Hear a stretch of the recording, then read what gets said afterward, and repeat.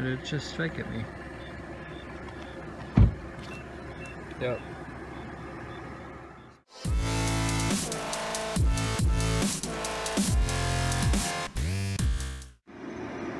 Alright guys, so just another water snake. This is a juvenile banded. You can see it has a nice patterning.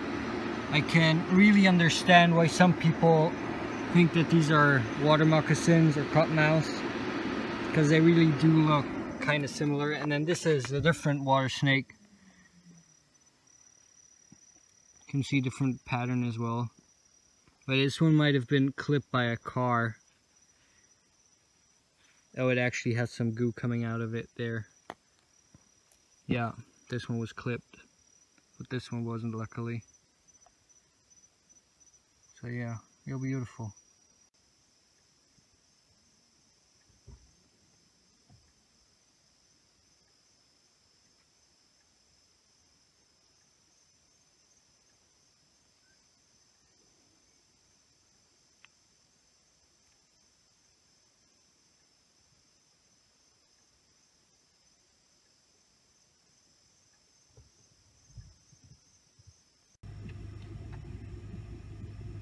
Alright guys, so I think this is a musk turtle. You just saw it on the road. He's got nice colors. The shell looks kind of just brown. Yeah, he's not very happy. You can see he's very lively. So we're gonna let him be on his merry way. Got pretty bad, pretty mean mouth on him.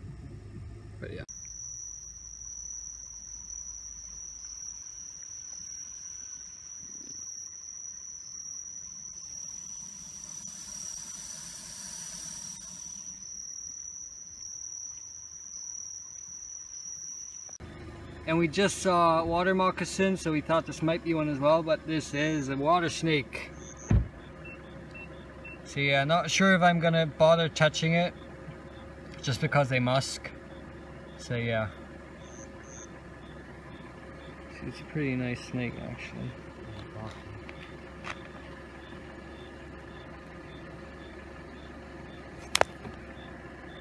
Did it just strike at me? Yep. It's beginning to be a bit unhappy.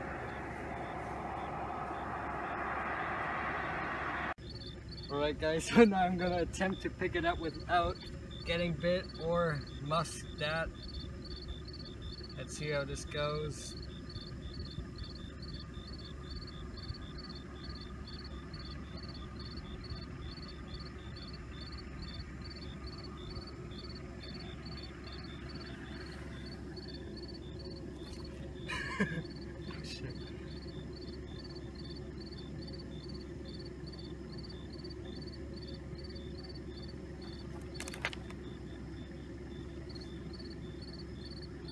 Alright, we'll just let it go on its merit.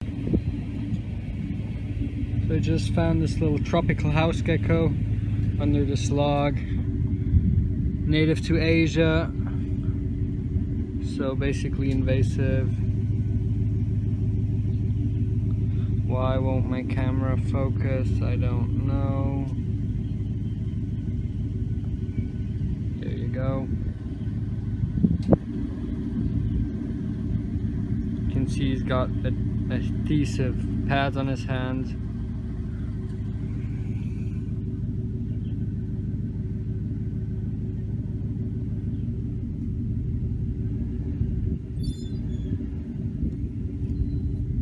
Off he goes. They can. Just checking this.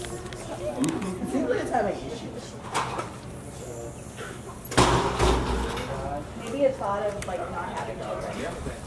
And be too much work. Eh, let's just walk away.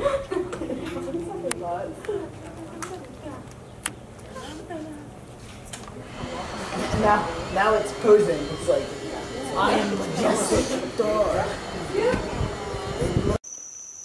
Alright guys, so here you can see a baby cottonmouth. What's different with these guys is the pattern is just so much clearer when they're a, they're baby. You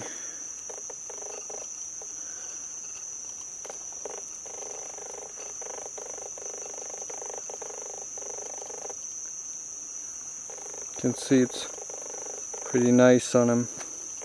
See, I'm getting bit to pieces here, guys. I'm gonna stop now.